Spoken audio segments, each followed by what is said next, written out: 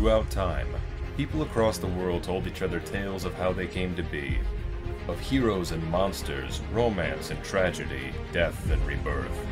Mythology helped shape the ancient world explaining the unexplainable. This is Mythology Unleashed.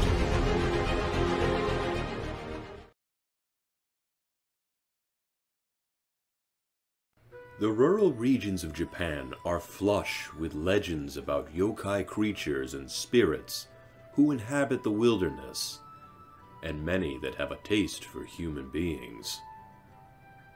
One among the yokai is not monstrous in appearance, but still petrifies all who see her, and does not consume the flesh of humans, but rather she drains the energy of unwary travelers. She is called Yuki Onna, the snow spirit, and she wanders the countryside during snowstorms, preying upon unwary travelers and breaking into homes and freezing the inhabitants. Legends of the Yuki Onna, whose name means snow woman, vary from region to region. Some claim that she is an elemental spirit with immense disdain for human life. Others, that she is the ghost of someone who has frozen to death or perished in the snow, and consequently seeks vengeance on the living for her untimely demise. Whatever her origin, Yuki Onna is as dangerous as she is beautiful. Yuki Onna is otherworldly in her beauty, with flowing raven hair, ageless skin as white as snow, and piercing violet eyes. Her beauty is one of her primary weapons against men, luring them unwittingly into danger. When they approach her, she drains them of their living energy, either through her ice-cold touch or blasting them with her frost breath, leaving her victims frozen solid. Should someone manage to fight back, or give her reason to flee, she is said to vanish in a snowy mist and reappear almost anywhere. While Yuki Onna is indeed a killer, there are tales where she is not entirely cold-blooded. Legends say that Yuki Onna is capable of falling in love with her intended prey, and will subsequently let them go free. There are tales of the yokai even marrying humans and living happily together. But as supernatural spirits never age, their husbands will inevitably discover their true identities, promptly putting a stop to these happy marriages. Perhaps the most widespread of these stories comes from Lafcadio Hearn's Kwaidan, Stories and Studies of Strange Things, the tale concerns two woodcutters, the youthful Minokichi and the aging Mosaku. One winter day, they found themselves stranded in the middle of a snowstorm. The two found a hut in the woods and sought shelter there, spending the night.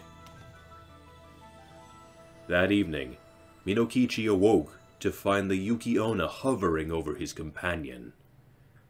She doused old Mosaku with her frost breath, and he froze to death.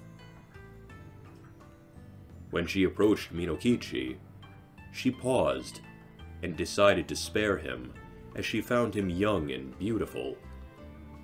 She bade him not to tell anyone about what had transpired that night, or else she would return to claim his life. Years later, Minokichi married a beautiful young lady named Oyuki. Minokichi and Oyuki lived happily and had several children together. Mysteriously, however, she did not age at all. One night, while the children were asleep, Minokichi told Oyuki the story of his encounter with the Yuki Onna all those years ago, and how her ageless beauty and refinement were a frequent reminder of that night.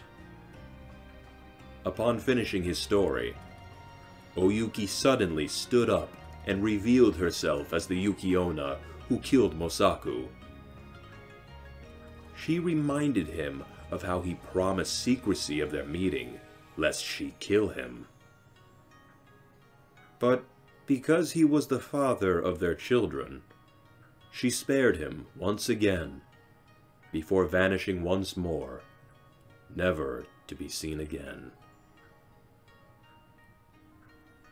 Japanese folklore surrounding this mysterious figure is filled with stories of this nature. Yuki Onna undergoing a human disguise or playing a trick on intended prey. Someone discovering her true identity, and the yokai being defeated or leaving them behind. Yuki Onna is a particularly mystifying creature.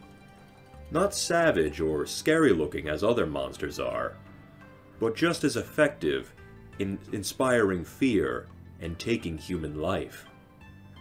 She is beautiful and elegant to look upon as fresh snow. She is as cold to the touch as ice. And she is as dangerous as a mountain blizzard. In many ways, Yuki Onna is the embodiment of the winter season.